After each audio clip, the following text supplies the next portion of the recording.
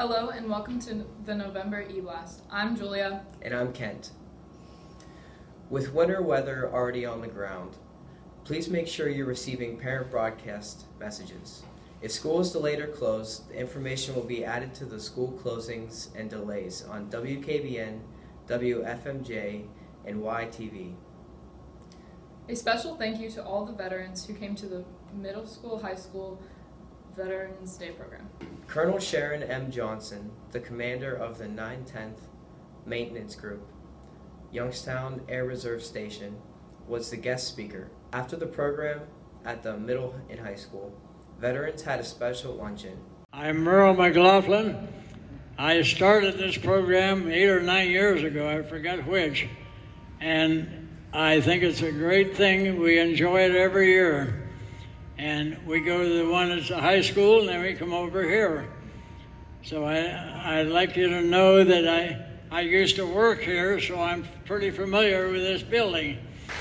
Merle was in the United States Navy. He served at Iwo Jima and Okinawa. He's the founding father of our American Legion. Elementary students also honored veterans in a special program. JM students also thanked veterans for their service and sacrifices in a special video. You can watch the videos on our Facebook page. Renewal Levy. On behalf of everyone in Blue Jay Land, thank you for supporting the recent Renewal Levy. Parent teacher conferences. What a great way to meet your child's teacher and discuss how he or she is doing in class. Conference night is on Tuesday, November 26th. Please contact your child's school to schedule an appointment. Thanksgiving break. Just a reminder, there is no school November 27th through the 29th. Happy Thanksgiving from everyone here at Jackson Milton. Second and third grade students at Jackson Milton Elementary School learned about anti-bullying and went home with their own copy of a book called Listen to Leslie. Diane Demetrios of Boardman wrote the book in memory of her daughter who passed away. The book is Diane's way of getting an anti-bullying message out to the elementary children and honor her daughter. The main take-home message stresses the importance of being kind to everyone.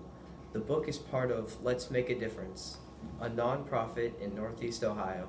Students took part in Red Ribbon Week, a week dedicated to drug prevention and education. Some high school students in SADD made a chain with students at the elementary school for Red Ribbon Week.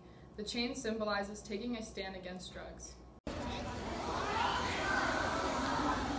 COSI on Wheels returned to the elementary school and didn't disappoint. Students explored nine stations about space, thanks to PTA for making the event possible. Middle and high school students are helping to spread the word about the importance of respecting others. Students signed a pledge to accept, include, and respect people of all abilities. The campaign is through the Down Syndrome Association of the Valley. Finally, the PTA Father-Daughter Dance is this Saturday night from 6.30 to 9 for elementary girls and their father or father-like figure such as their grandpa, uncle, brother, or etc. Thanks for tuning in to the Jackson Milton E-Blast. I'm Julia. And I'm Ken. Go, Go Jays. Jays.